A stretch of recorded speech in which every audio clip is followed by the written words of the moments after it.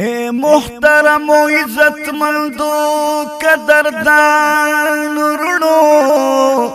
زما خوگو خوگو د دین مسلمانان رونو زما خوگو خوگو د دین مسلمانان رونو حاضر ستاسو په خدمت کې دا جمعه او پنسبت د دین زمون د ملاقات دے مفهوم دے حدیث پاک کی دراغلی دا پاک نبی زمون گخ کلی فرمایلی دا چې کله خپل کې دربو د بلدګان ملاوشي نسبت د دل باندې چې دوا مسلمانان ملو شي الله خوشاله شي د دوی د بیلې دو نمخ کې کړي ګناهونه ورته ما فجدا کې دو نمخ کې د الله شکر به چې مونږ انسانان پیدا کړو او په انسانانو کې بیا مسلمانان پیدا کړو د دین زیات احسان پمونګ باندې دا کړه رب چې په امت کې د نبی آخر زمان پیدا کړو بیا را نصیب کړه دا عظیمه او اعلی کلمه شکر دی ممتول پا جمع ویلی دا کلمہ لا اله الا الله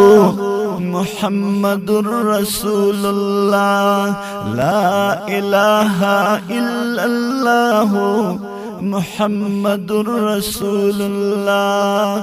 چې کلم دا کلمی دا غیظہ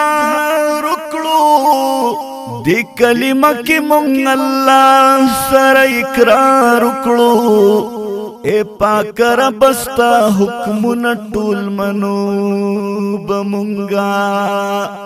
اے پاک رب استا حکم نا ټول من بمونګا ستا د حبيب په طریقو ژوند تیرو بمونګا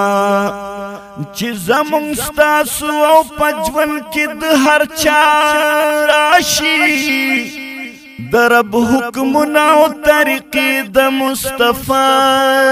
راشي